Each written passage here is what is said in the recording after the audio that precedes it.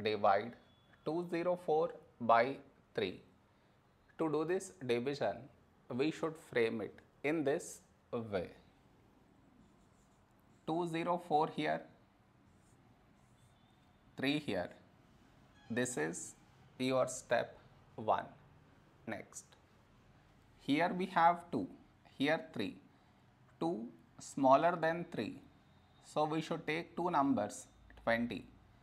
A number close to 20 in 3 table is 3, 6, 18. Now we should subtract, we get 2. After this, bring down the beside number, so 4 down, so 24. When do we get 24? In 3 table, 3 8s, 24. Now we subtract, we get 0. After this, no more numbers to bring it down and we got remainder 0. So this is our quotient